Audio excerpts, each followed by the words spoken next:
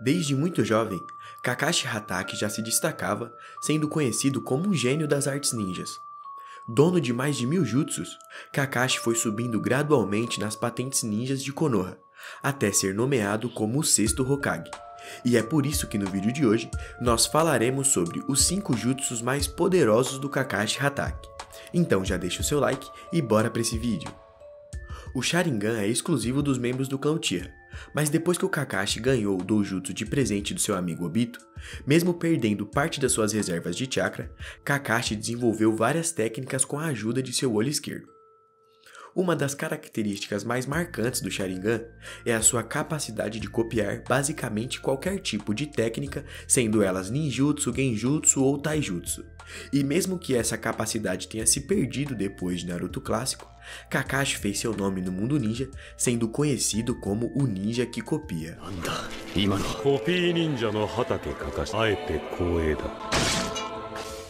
E a primeira técnica aqui da nossa lista é o Haikiri. O Haikiri é uma versão melhorada do Chidori, contendo menos selos de mãos e maior eficiência.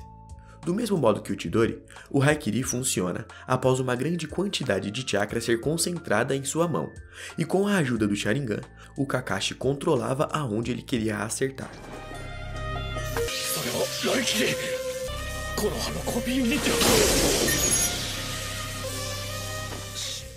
Esse jutsu consome tanto chakra que o uso dele era limitado no campo de batalha. Além disso, o Haikiri também é um jutsu classificado como Rank S, que na maioria das vezes é um jutsu exclusivo.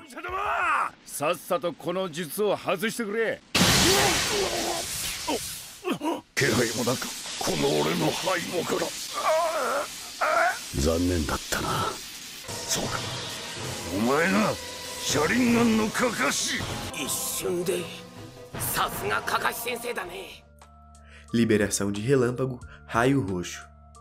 O raio roxo, ou também o Shiden, é um jutsu exclusivamente criado por Kakashi após o mesmo ter perdido o seu Sharingan durante a Quarta Guerra Ninja. Com essa nova habilidade, o Kakashi conseguia concentrar chakra roxo em sua mão, sendo basicamente uma versão melhorada do Haikiri, onde ele aparentemente é muito mais leve e preciso. Shiden!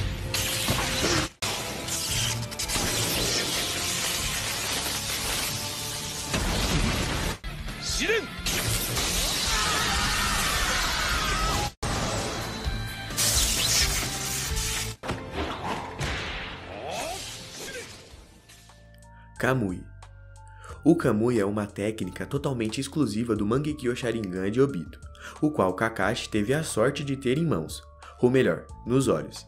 Essa técnica é facilmente colocada como um dos jutsus mais poderosos de espaço-tempo da franquia, já que permite o seu usuário se teletransportar ou teletransportar qualquer coisa para outra dimensão.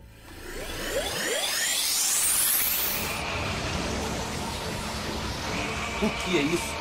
O que está acontecendo?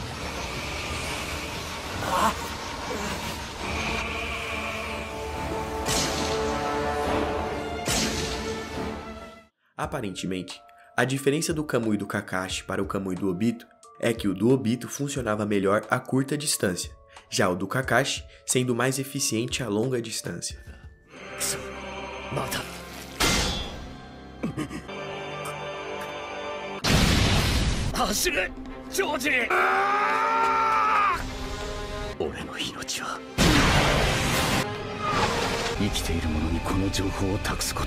Mata. 走れジョージ俺の命は生きている者にこの情報を託すこと今の俺が取れる最善の方法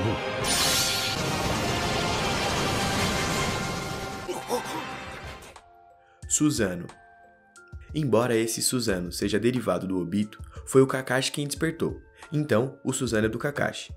Criando logo de cara um Suzano perfeito e um dos mais mortais da franquia, Kakashi foi capaz de usar o Kamui Shuriken, sendo uma técnica extremamente poderosa, teletransportando tudo que ela toca para outra dimensão.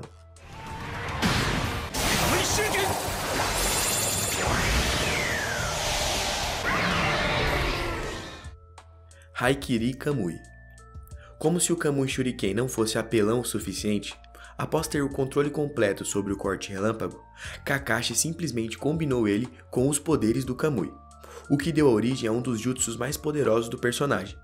Com essa técnica, Kakashi, ao atingir o seu adversário, mandava a região tocada para outra dimensão, como foi mostrado durante a sua luta contra Kaguya.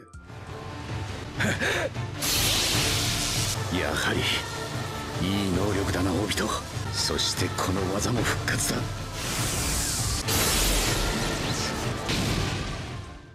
E como menção honrosa, não podemos esquecer que além do Kakashi Sensei manipular sete transformações de natureza, ele é o ninja que copia, onde, usando o estilo vento, Kakashi pode fazer o Rasengan.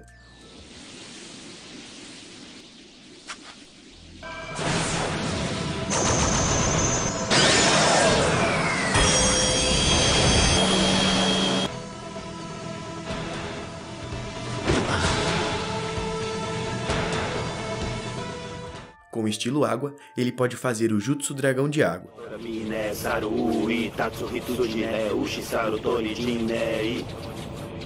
Dori! Estilo água! Jutsu dragão de água! Com o estilo terra, ele pode criar a parede de terra. Tem também o Jutsu Bola de Fogo, o Jutsu Multiclones das Sombras e a sua técnica de invocação, o Niken, que são esses cachorros espertos.